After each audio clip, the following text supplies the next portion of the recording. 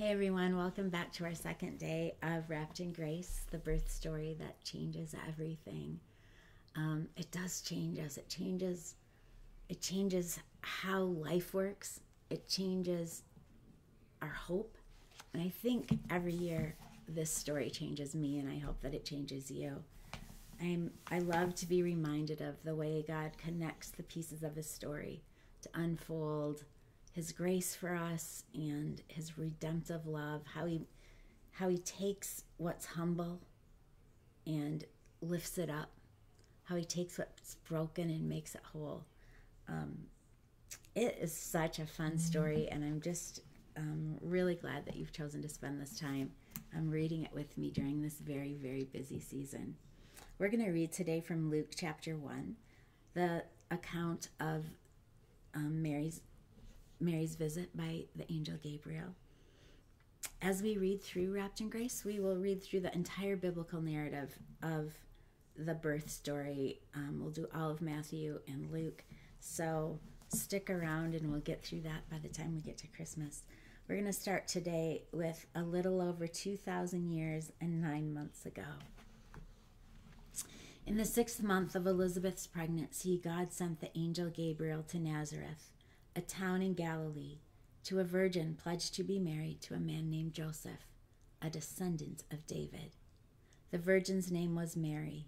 The angel went to her and said, Greetings, you who are highly favored. The Lord is with you. Mary was greatly troubled at his words and wondered what kind of greeting this might be. But the angel said to her, Do not be afraid, Mary. You have found favor with God. You will conceive and give birth to a son, and you are to call him Jesus.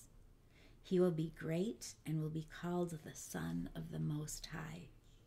The Lord will give him the throne of his father David, and he will reign over Jacob's descendants forever. His kingdom will never end. How will this be? Mary asked the angel, since I am a virgin. The angel answered, the Holy Spirit will come on you, and the power of the Most High will overshadow you. So the Holy One to be born will be called the Son of God. Even Elizabeth, your relative, is going to have a child in her old age, and she who was said to be unable to conceive is in her sixth month. For no word from God will ever fail. I am the Lord's servant, Mary answered. May your word to me be fulfilled. Then the angel left her. Oh, you guys, I love that story. I love that the angel thought Mary Mary had enough background to understand that these confirming statements verified his presence, verified the message that he was bringing to Mary. It mattered that Joseph was a descendant of David it mattered that that this this king would sit on the throne of his father David and would reign over Jacob's descendants. His kingdom would never end. Mary knew about Jacob's descendants. She knew that she was one of Jacob's descendants. She knew that there was a promise that Messiah would come and reign and his kingdom would never end. Those were pieces of her story. Those were things that she knew. So, those verifying statements by Gabriel gave her the courage and the faith to say, I am your servant. May it be done to me. I I love her faith and I love that her faith wasn't just blind. I love that it wasn't just some little girl who was pretty who got to have God's baby. It was a girl who understood the story and understood God's work in the world and and knew that God could use her to keep telling his story.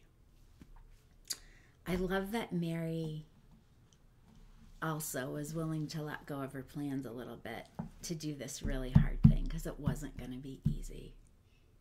To get pregnant and not be married? How's that going to happen? But her old cousin Elizabeth, her old relative, I don't know if it was her cousin, her her relative that was way past menopause was going to have a baby, and that was verification for her that God could do whatever He said. God was bigger than the circumstances. And if He could if he could manage a birth story for Elizabeth, who was past conce- conceiving and who was said to be barren, he could manage her birth story. And she was good with that. We talked yesterday about how you're going to, um, how we're going to live with all the plans we have of December, but still carve out time to remember Jesus. And um, I think Mary is a great example for us of um, loosening up on her plans a little bit to do the things in her life that God was calling her to do. Here's a little reflection for today for us to think about. Mary was an ordinary teenager planning her wedding. God's, uh, God's announcement interrupted all of that. Heaven stood in her doorway and history was changed because she said yes. Her life plans became secondary to God's plans. It's easy to walk through life, especially at Christmas time, believing that our plans are non negotiable. But what if part of what God wants to teach us through Mary's story is that being sensitive to His leading means loosening our grip on our plans a little bit?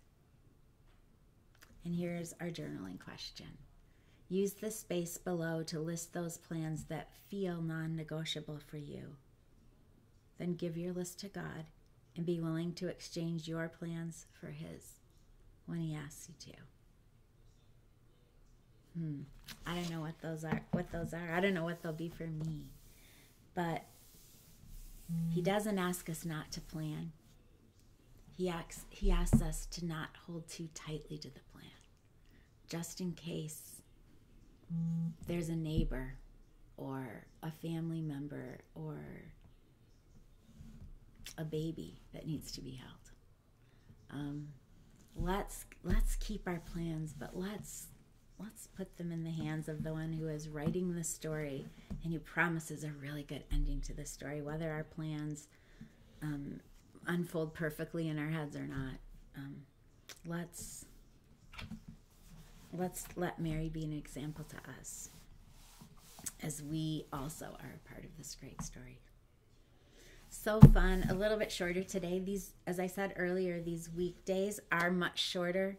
Um, I'm, I'm excited to be back with you again tomorrow. We'll talk about Mary and um, the time she gets to, um, oh, more about Mary's faith to say yes, actually. And then a couple days, we'll talk about her um, arrival at Elizabeth's house and the song that she sings. So we'll end the week with Joseph and Joseph's faith to say yes, because another huge part of this story.